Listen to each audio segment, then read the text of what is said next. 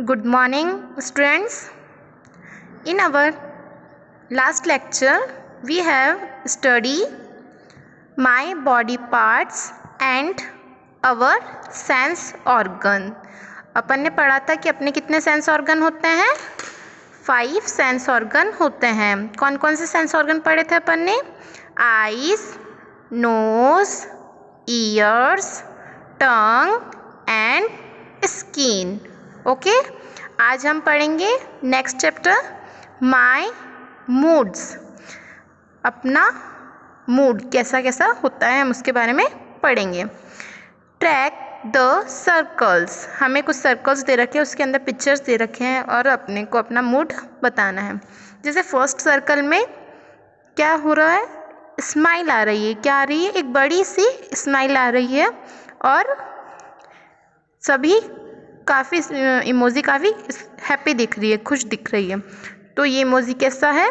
Happy H A P P Y happy कितना खुश है। नेक्स्ट आपको इमेजी में, इमोजी में कैसा दिख रहा है? बहुत ही सैड हो रहा है, बहुत ही दुखी हो रहा है। इसने मुँह को कितना छोटा सा कर रखा है। और इसने आँखें भी नीचे कर रखी है तो ये काफ़ी सैड है, बहुत ही दुखी है। एस ए डी सैड मतलब बहुत ही दुखी होना। ओके नेक्स्ट स्केर्ड ये कैसा दिख रहा है अपने को? कैसे डर रहा है? जैसे अपने को अपनी मम्मी कभी डांटती है तो अपन कितना डर जाते हैं ना? तो उससे अपन क्या बोलते हैं? स्केयर्ड बोलते हैं। S C A R E D scared मतलब काफ़ी डर जाना। Okay? See the above expression and paste the colour stickers हमें कुछ अपने मूड्स दे रखे हैं, उनकी, उनका जो स्टिकर है, हमें यहाँ पर लगाना है। और इनके स्टिकर्स हमें कहाँ दे रखे हैं? बुक के पीछे दे रखे हैं। मैं अभी आपको बताऊँगी, ओके? जैसे फ़र्स्ट वाले बॉक्स में क्या लिखा हुआ है? आई फील हैप्पी मैं बहुत ही खुश हूँ, मुझे बहुत ही अच्छा फील हो रहा है, बहुत ही अच्छा महसूस हो रहा है, बहुत ही खुशी वाला महसूस हो रहा है। तो हम यहाँ पे किसका इमोजी लगाएँगे? हैप्पी का लगाएँगे ओके जैसे मैंने अभी आपको इमोजी बताया था, वैसे ही इमोजी हमें बुक के पीछे दे रखे हैं।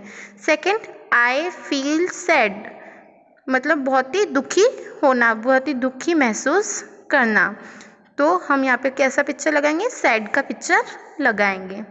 नेक्स्ट आई फील स्केयर्ड मतलब बहुत ही डरा हुआ फील करना, बहुत ही डरा हुआ महसूस करना। तो हम हम यहाँ पे किसका पिक्चर लगाएँगे? स्कैड का पिक्चर लगाएँगे। अभी मैं आपको पिक्चर्स बताती हूँ। पेज नंबर नाइनटीन के पिक्चर हमें दे रखे हैं। जैसे ये लड़की कितनी खुश दिख रही है तो हमें हैप्पी वाले में किसकी पिक्चर लगानी है? ये हैप्पी वाली लड़की की पिक्चर लगानी है। नेक्स्ट हमें कौन सी पिक्चर दे रखी है? इसने कैसा मुँह बना रखा है? बहुत ही सैड वाला मुँह बना रखा है। तो हम इस पिक्चर को कहाँ लगाएँगे? सैड वाले ब्लॉक में लगाएँगे। नेक्स्ट ये लड़की कितनी डरी हुई दिख रही है अपने को? दिख रही है ना आपको? तो आप ये स्कैड वाले ब्लॉक में इस लड़की का पिक्चर लगाएँगे। ये थ्री पिक्चर्स को अपन को निकाल कर उन ब्लॉक्स में लगाना है और ये आपको अपने होमवर्क में कंप्लीट करना है ओके इट्स योर होमवर्क तो ये आपको होमवर्क में करना है okay next tick right the pictures that make you happy हमें कुछ पिक्चर दे रखी है, जो चीज़ आपको खुश करती है, आपको उस पर टिक करना है। जैसे अपन करेंगे, आप भी मेरे साथ करिएगा। फ़र्स्ट पिक्चर में बर्थडे पर हमें गिफ्ट मिल रहा है। क्या मिल रहा है? गिफ्ट मिल रहा है। तो गिफ्ट मिलता तब अपन कितना खुश होते हैं। होते हैं कि नहीं होते हैं? बहुत ही खुश होते हैं तब। इस पर राइट का निशान लगाएँगे। राइट का टिक लगाएँगे। नेक्स्ट, पिक्चर का दे रखिए। हम केक कट कर रहे हैं। केक कट कर कर हम मम्मा को खिला रहे हैं। हमारा बर्थडे सेलिब्रेट हो रहा है।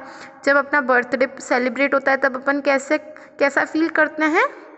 बहुत ही अच्छा फील करते हैं, बहुत ही खुश हो जाते हैं कि आज तो हमारा बर्थडे पर हमने केक कट किया, है ना? तो हम इस पर राइट का टिक करेंगे। नेक्स्ट पिक्चर हमें किस चीज़ की दे रखी है? अपन गिर जाते हैं। अपन खेलते खेलते कई बार फर्श पर या ज़मीन पर गिर जाते हैं। तो ये बच्चा कैसे गिर गया? तो गिरते हुए हमें कैसा फील होता है? अपन रोने लग जाते हैं, कई बार गिर गिर जाते हैं, तब अपन डर भी जाते हैं, गिरते हैं तब और अपन बहुत ही दुखी भी हो जाते हैं। तो ये हैप्पी मूड है, जब अपन गिरते हैं तब अपन खुश होते हैं? बताइए आप। जब अपन गिर जाते हैं तब अपन खुश बिल्कुल भी नहीं होते तो अपन इस पर टिक नहीं करेंगे, क्योंकि गिरते हैं तब अपन को तो रोना आ जाता है है ना?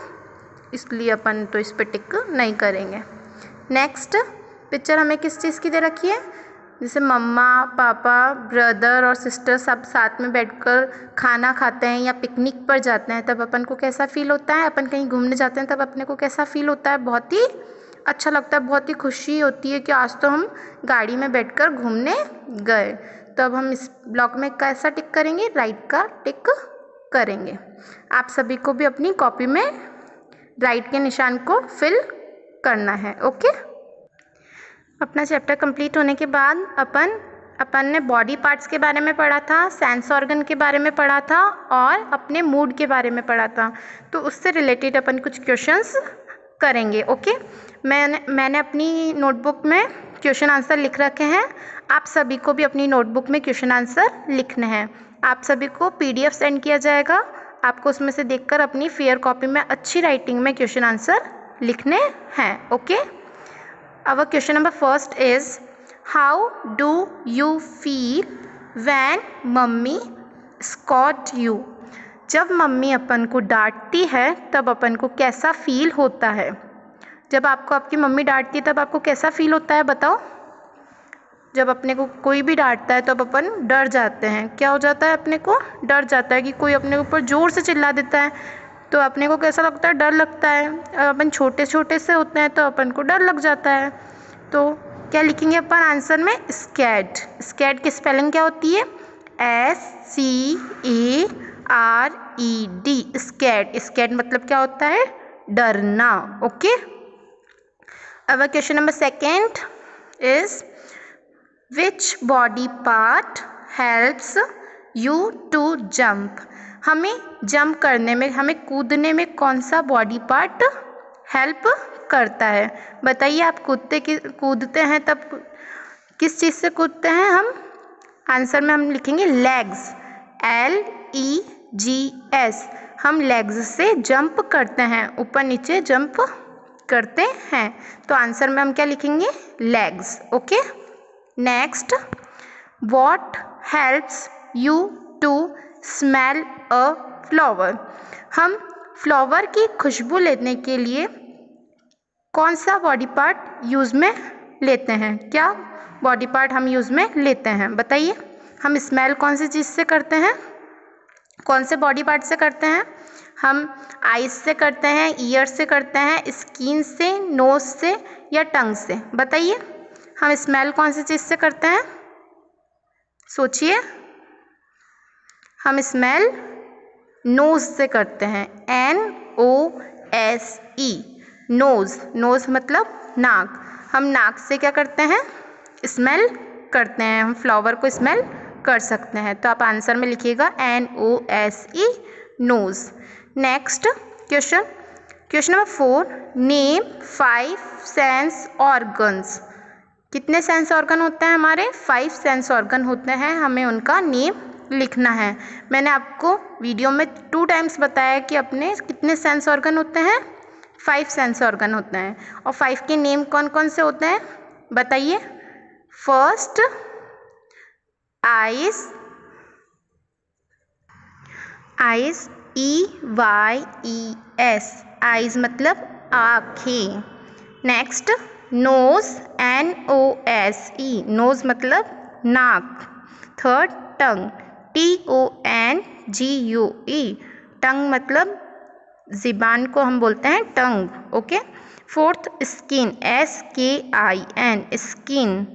Fifth ears E A R S ears मतलब कान। ये अपने टोटल फाइव सेंस ऑर्गन है। ये आपको लर्न भी करना है, okay? Question number four when do you feel happy? आप खुश कब होते हैं? बताइए आप खुश कब होते हैं? हम हमारे बर्थडे पर भी बहुत खुश होते हैं। हम जब खेलते हैं तभी भी हम बहुत खुश होते हैं। हम अपनी फैमिली के साथ में घूमने जाते हैं तब भी हम बहुत खुश होते हैं। बहुत सारी चीज़ें होती हैं जिससे हम बहुत ही खुश होते हैं। तो हम हमारे आंसर में लिख सकते हैं our birthday O U R our B I R T H D A Y birthday हमारे बर्थडे पर हम बहुत ही खुश होते हैं। Question fifth which body part helps you to read हमें पढ़ने के लिए कौन सा बॉडी पार्ट यूज़ में आता है? हमारा आंसर क्या है? Eyes E Y E S eyes eyes मतलब क्या आइज़ से हम क्या करते हैं? आइज़ मतलब होता है आँखें। और आइज़ हमें क्या हेल्प करती है? देखने में हेल्प करती है। हम बुक के अंदर देखेंगे और उसके बाद ही हम उसे पढ़ेंगे। जैसे यहाँ पर यू लिखा हुआ है। तो यू को हमने क्या करा? हमारी आँखों से देखा। वाई ओ यू हमने देखा, उसके बाद हमने रीड किया इसे। तो हम देखेंगे तभी हम पढ़ पाएँगे। इसलिए हमें सबसे ज़्यादा हेल्प किस चीज़ की होती है पढ़ने में? आइस की। E Y E S eyes our last question is question number seven how many ears do you have अपने कितने कान होते हैं? बताइए। आंसर में क्या लिखेंगे हम? Two ears T W O two E A R S ears हमारे दो कान होते हैं। ओके अब आप सभी को ये अपनी फेयर कॉपी में नोट डाउन करना है।